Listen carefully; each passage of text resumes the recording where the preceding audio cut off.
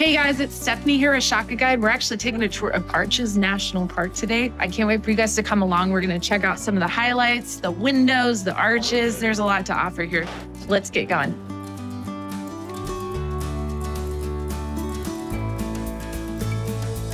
We're starting here at the park's entrance just outside of the town of Moab, Utah. And first up, we're heading to the windows section of the park, one of the great spots to catch a sunrise. When you come to Arches, you want to get up close and personal, get some good light. You wake up early. We're heading up to Window Arch right now. It's a little bit of stairs, a little bit of trail, but it's a short walk. So we just made it here for sunrise. You can even see another little arch. It's just amazing to be waking up and starting a day like this. You know, just going for a morning walk.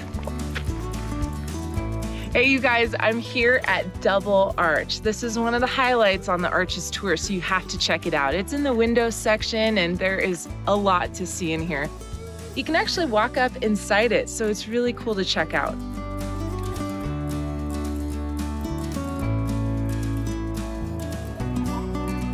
Keep holding it. Ah, kind of. We're here at Balanced Rock. I don't know if I would step on that side, but if you look at it, it looks perfectly balanced. Like it could just fall at any moment. I, okay, I really tried, but we're gonna go take the walk. It's really short, it's right off the road. So this is worth the stop. Let's go. Yeah, you would never notice this on the side of the road.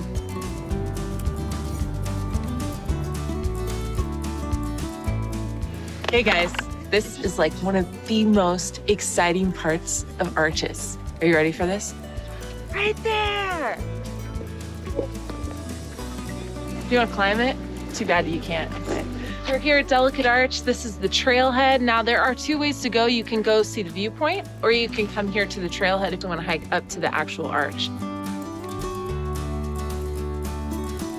So we're partway up the climb to the Delicate Arch. When I say climb, it's about a mile, but it's actually kind of hard to find. So if you're gonna do this in sunrise with headlamps, just make sure you're following the trail sign.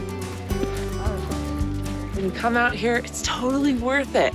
This is actually sunrise. You can see the sun's just starting to hit it. It's so beautiful. It's just like this whole park is so beautiful. It is a very delicate arch. It's really thin on one side. You know, they don't know how much longer it's going to be around. So come see it while you have a chance.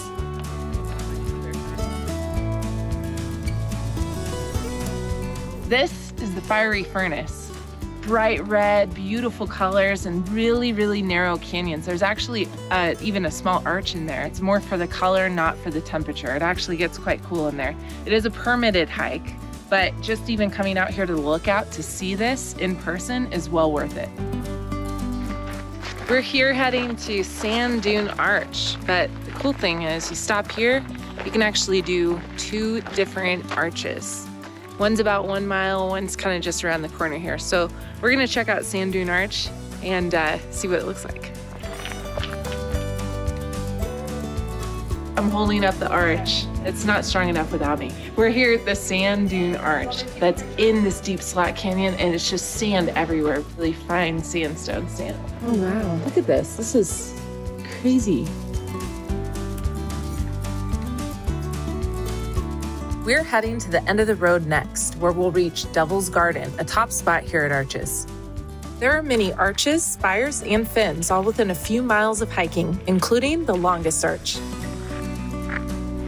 This is a landscape arch. This is the longest arch in North America. It's 300 feet wide and only 11 feet in diameter. You guys can see how skinny this thing is. You'll see a lot here, so it's good to plan the time to hike around. Arches National Park is home to the highest concentration of stone arches in the world. It's no wonder this is one of the most popular parks in the US. Now that you've got a taste for it, I hope you add it to your list. Thanks for exploring with us today. Remember, you can skip a lot of the planning by using the Shaka Guide app. We've planned out your stops with plenty of stories, history, and fun facts to go with it. We want to help you connect more with what you see and what you experience here. Any questions? Post a comment below. We're here to help you get out and explore. And don't forget to subscribe to our channel for more fun, epic destinations. We'll catch you next time.